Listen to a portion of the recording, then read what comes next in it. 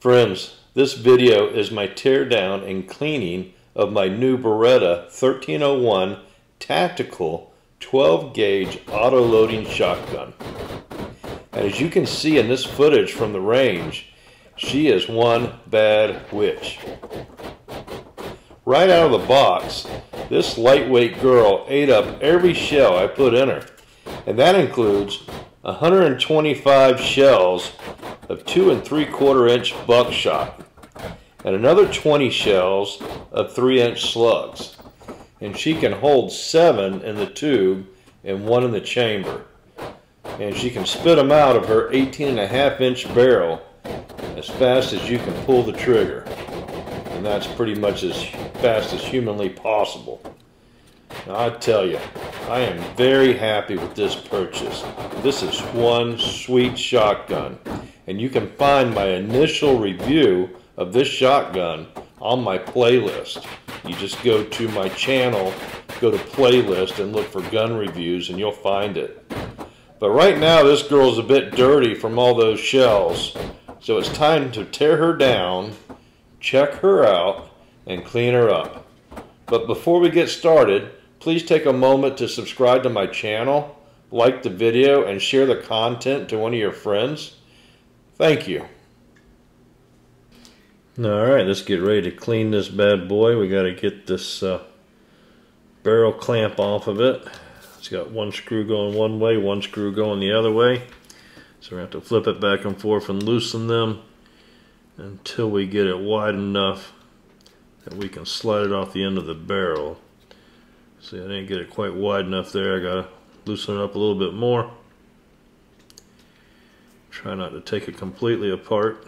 Don't want to lose the screws or the nuts. Just get it wide enough we can slide it off. And that's it. It's just a polymer piece. But set that aside. The end cap off of the magazine tube.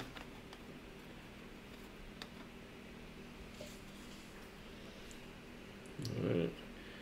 And we got a plastic cap inside here. It's got a little tab that we're going to to press in to get it out of there.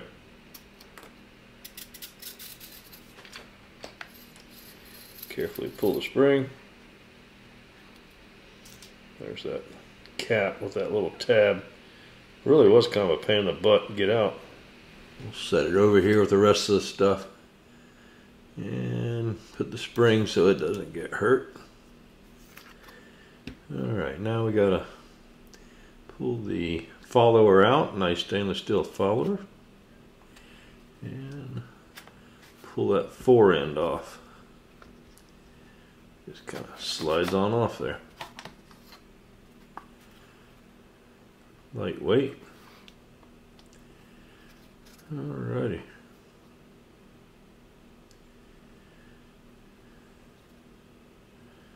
And we just pull that barrel right on off there. Look at all that chrome, huh? Dirty. Dirty chrome. Shotguns sure do create a lot of dirt. That's why we gotta get the cleaning rod out. Yeah, I'm sure y'all gonna cringe at the way I do this, but been doing it this way a long time. Just like to use my wire brush. A little bit of Hoppe's on a patch. Get nice and wet and then just wrap it around my wire brush. That's just the way I've done it. Nobody taught me it. I just started doing it this way. Makes me happy, so I do it. Each their own, right?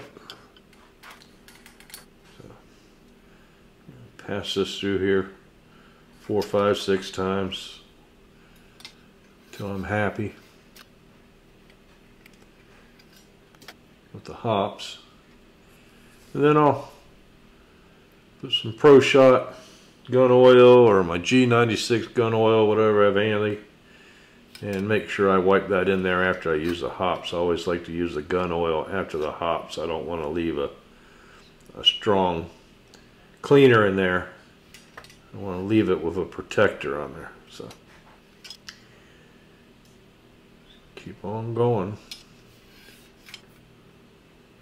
Get it where I'm happy.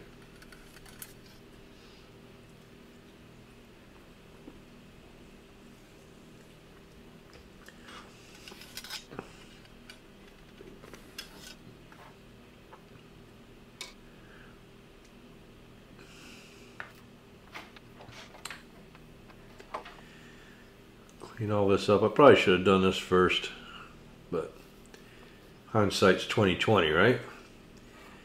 Anyway, I just want to get all that cleaned out in there. Sorry I didn't have the camera pointed. There's my G96 gun treatment. I like this because I can use it inside and it doesn't smell up the house.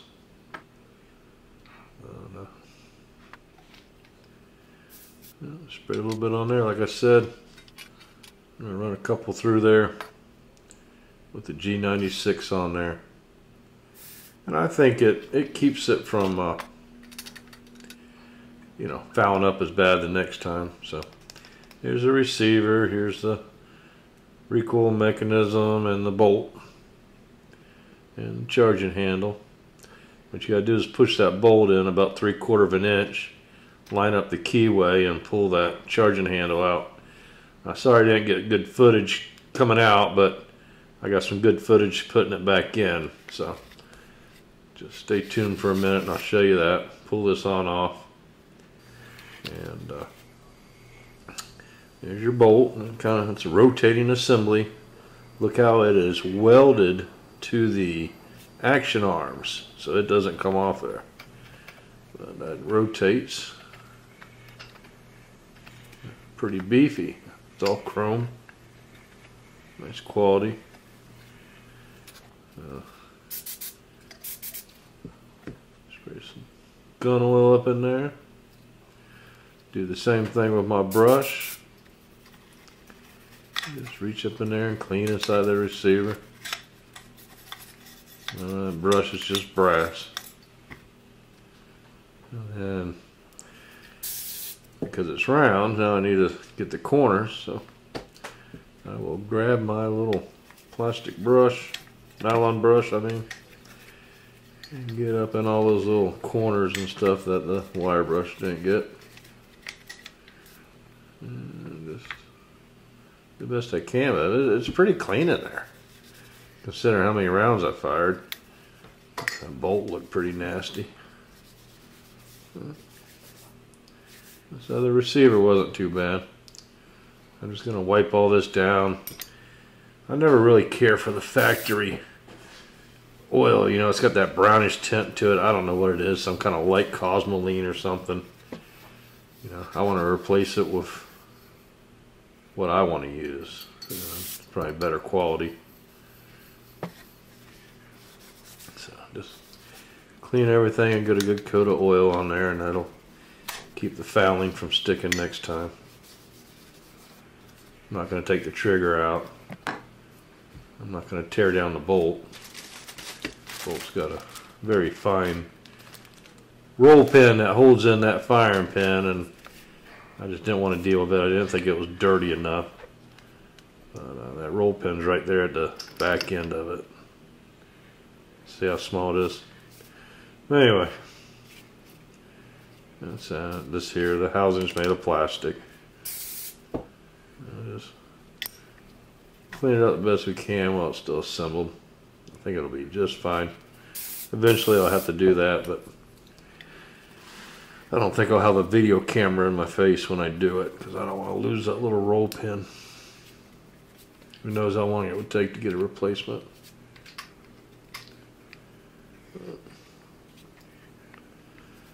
It's pretty neat the way this thing is engineered and designed. So Italians did a good job.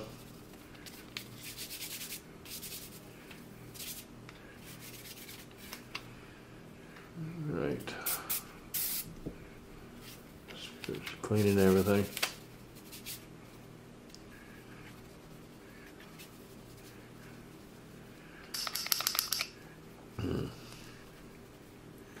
Now when I get done cleaning this, I'm gonna put a little lube on there. So I'm gonna use my zero friction needle oiler by Pro Shot. And we're gonna use that to lubricate up the bolt. And uh, oil that up good. Wipe off the excess.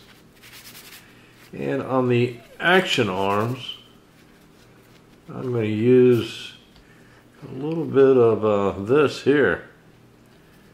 It is the Geissele formulated, uh, real thin grease, purple.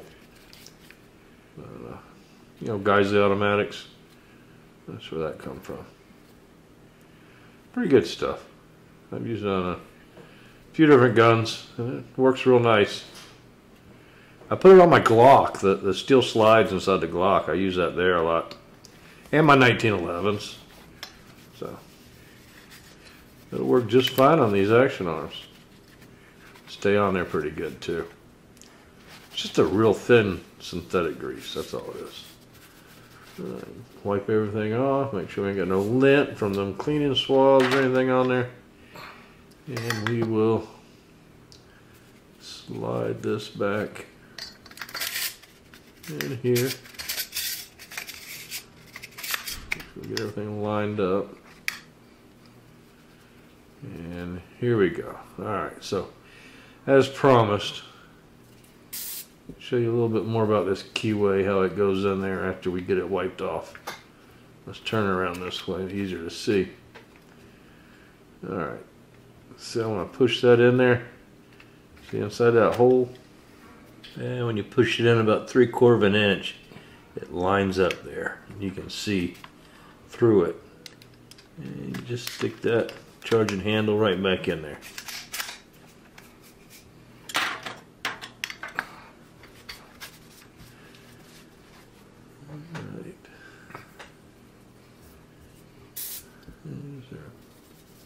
Barrel. One more wipe on it. we have it apart. Let me slide this baby right on in there.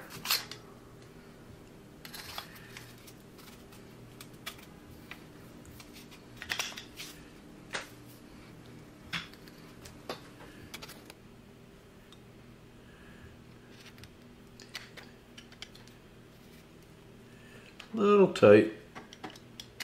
Just gotta be a little persuasive with it. Just a tight fit. we got it.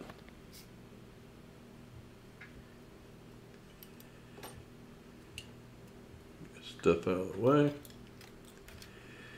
Alrighty, let's clean this spring up. Now you don't want to go yanking on it, twist it. So what I like to do is just get a rag wet and just screw it through with very little pressure.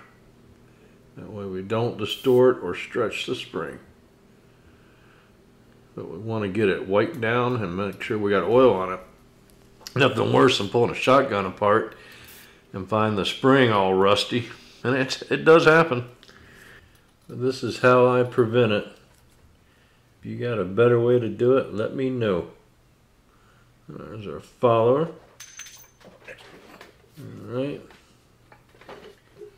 Get that cleaned up. All wiped out. And we stick that in. Put our spring in there. That's not a real heavy spring. Uh, surprisingly. Alright, we gotta play around with this Darn cap. I really don't like the design. Now, some people leave this out. They say you can get an extra round in there if you if you leave this cap out, but I'm not going to do that. I'm going to go ahead and stick it in there. Get it in there. Eight rounds is plenty for me. Alright. But it is a pain in the butt to get it started. Wish they would have came up with a little better design than that. There we go. Okay. Clean this baby up. Now I noticed a little dirt in there, I don't know, just from having something on my hand or something. But it gets in that checkering. And you can't just wipe it off because it's down in the checkering. So that's the best way to do it. Spray it with some gun cleaner and take your nylon brush and scrub it. It lifts it all out of there. Might as well go ahead and get all that residue in there because that's where it vents. It vents inside there. So you want to get all that cleaned out good. And everything wiped down good. Slide it on there and uh oh. Push that right out. take it back off. Now that's the little piece, that little ring that came out, that's the little piece that it has a pin in it. It creates the ratchet action for that magazine end tube uh, retention. So I had to struggle with it a little bit. And um, I learned you just have to be really careful, make sure everything lines up. Took me about three times getting that fore end on, keep knocking that that out of there before I finally got it on there. And now we can put our magazine extension or magazine end tube cover. Screw it on there. Get it good and tight. Check our action. Check function, check the firearm. Trigger, everything. Everything's working just fine. Feels good. And then we'll go ahead and put the barrel clamp on there. And give it a final wipe down. This movie got awfully long, didn't it? Um, if you're still with me, thanks for watching the video. I really like this gun. Can't say enough good things about it. Hope to do some more videos, more outdoor range where I can approach targets and, and be a little bit more exciting in my video. Um, but at least at the indoor range, you know, I got a, I ran over 100 rounds through it and and not a single problem. I had uh, slugs and three quarter, or, or, yeah, two and three quarter buckshot, high brass, 1300 something feet per second. So, but I tell you, you could really feel the difference in those slugs. It's not a hard kicker. I'd say my 870 kicks harder because that um, auto loading gas system does absorb some of it, but it's a light gun too. It's six and a half, but let me tell you, it's nice. It really is. Get a chance to shoot one, shoot it. Get a chance to buy one, definitely buy one. Because this is, uh, that's a, that's a bad little bitch of a shotgun, let me tell you. Alright friends, don't forget about the knife giveaways check the playlist, see what month it is, and see what knife I'm giving away. I give away a new knife every month. And um, don't forget to subscribe to the channel, like the video, share it with a friend that you think might like the same kind of content. And other than that, thanks for viewing.